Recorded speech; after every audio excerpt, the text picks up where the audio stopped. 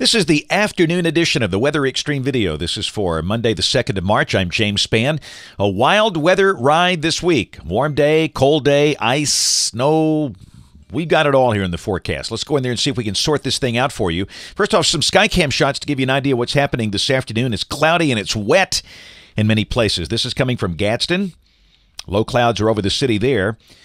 Fultondale, rain falling there in northern Jefferson County and raining in Trussville at the same time.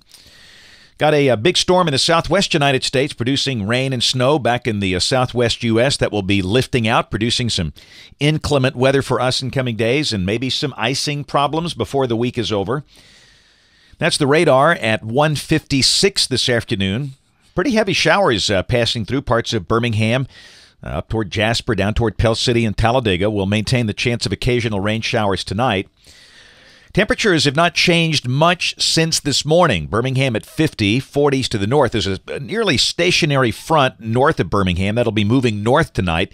In fact, in many places, temperatures will actually rise overnight tonight. Tomorrow's going to be a warm day with highs in the 70s.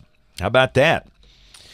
Around the nation, cold air lurking not that far away, and that's going to be pulled southward down in here late Wednesday and Wednesday night setting the stage for problems. Already, winter storm watches in effect for much of West Tennessee, North Mississippi, much of Arkansas.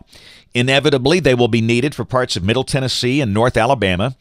Uh, those could be issued later today or maybe tomorrow morning.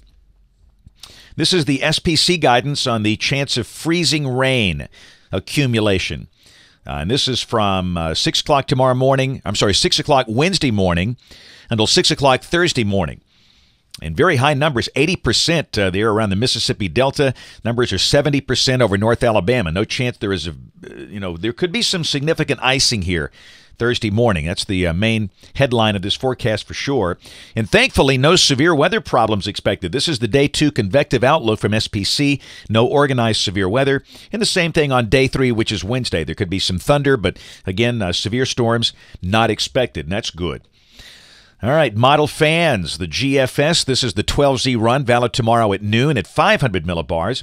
We've got this warm ridge nosing in from the Gulf, a big trough in the west. At the surface, we have a 1003 millibar low that is located near Madison, Wisconsin. And we're obviously in a warm, soupy air mass. There could be a few showers tomorrow, but I don't think it rains a lot. Uh, could there be some rain? Absolutely, but again, not an all day rain. Uh, this is uh, tomorrow evening at 6 o'clock off the NAM, really not showing much. And uh, the NAM is printing 76, by the way, tomorrow for Birmingham. Uh, parts of South Alabama could see low 80s. Uh, spring fever will be running rampant, and people will totally think we're a lunatic for forecasting ice problems. Now, this is Wednesday at noon. The models have trended a tad slower with the progression of the Arctic air. Wednesday at midday, we should see an icing event from Dallas Fort Worth to Little Rock up to about Memphis and Jackson, Tennessee. Uh, during the day Wednesday, uh, we just have a good chance of rain, uh, periods of rain Wednesday, and there's going to be a very sharp thermal contrast. And again, the, the guidance has come in a little slower. This is the NAM. Uh, valid uh, Wednesday evening at 6 o'clock, and you can see it doesn't take much of a genius to figure out the cold front location. Uh, and that's going to drop steadily southward, and uh, that will kind of you know deflect back the chance of icing down here until probably after midnight uh, Wednesday night, if indeed this is correct. Uh, this is midnight Wednesday night coming off the GFS, and it's got the freeze line, that red line from near Reform to Jasper to Garden City to Scottsboro. North of that line, Wednesday night, sleet and freezing rain. South of that line, rain. Uh, Birmingham is still above freezing at midnight, but by 6 a.m. Thursday, that's just nasty looking.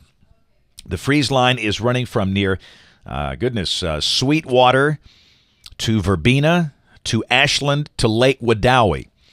North of that line in a shallow cold air mass, it's freezing rain and sleet. That's going to be one of the hard parts to define. If it's more sleet, that's better for us in that you're not going to have, you know, big power outages in this, but if it's more freezing rain, that's the big problem. That would create major ice accumulation. And back in the deeper cold air, the rain and the freezing rain changes to snow back around the shoals. And then Thursday at noon, the event is winding down, but this is suggesting potential for freezing rain and sleet deep into South Alabama, almost down to Monroeville and Montgomery. Wow. So, how much freezing rain will fall? This is coming off BUFKIT, uh, and this is just taking basically data off the GFS because the NAM's not quite within range, and uh, it's showing only six hundredths of an inch. But the European is much more bullish. Uh, this is the accumulated freezing rain uh, for the six hour period from midnight Wednesday night to 6 a.m. Thursday. It's got a half inch up around Gadsden and uh, Boaz with about a, uh, three tenths of an inch in Birmingham, and that would be much more significant if this is right.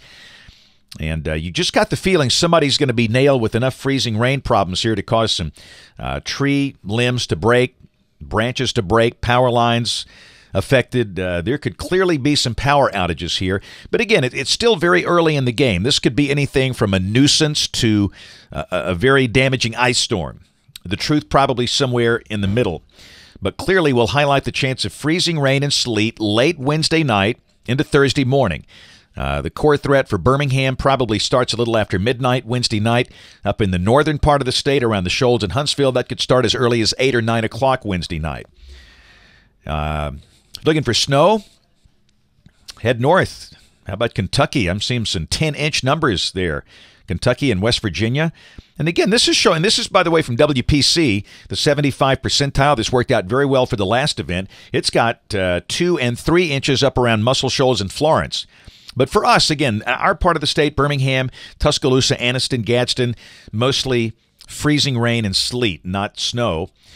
Public forecast. Uh, the better chance of freezing rain and sleet and ice north of a line from near Livingston to Clanton to uh, Roanoke.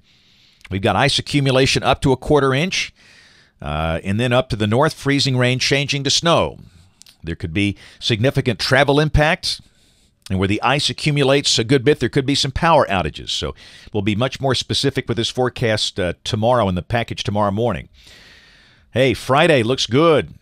Now, Friday morning is going to be very cold uh, where there's snow and ice down. Uh, we're probably going to see lows well down in the teens, but the high should be in the 40s. And then Saturday, as we start the weekend, pretty nice.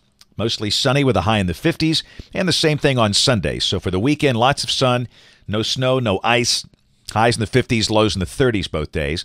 Monday of next week, troughing over the east, ridging in the west. And again, that just looks uh, cool and dry with highs in the 50s. This is the end of the forecast. Thursday of next week, the 12th of March, we've got ridging now over the eastern part of the continent, and that suggests uh, that the weather will be quiet. Maybe showers and thunderstorms off to the west, but again, nothing significant there. Temperatures coming off the ensembles. You know, after this cold shot at the end of the week, look at that we go back in the 60s and kind of stay there. That'll be refreshing through mid month. Let's hope that. Uh, happens to hold up. That's it for the Weather Xtreme video today. We'll have notes in the blog. Next video here by 7 o'clock tomorrow morning. If you can't catch us this evening on the live stream or the television side, ABC 3340 News at 4, 5, 6, and 10. Thanks for watching. Have a great evening and God bless.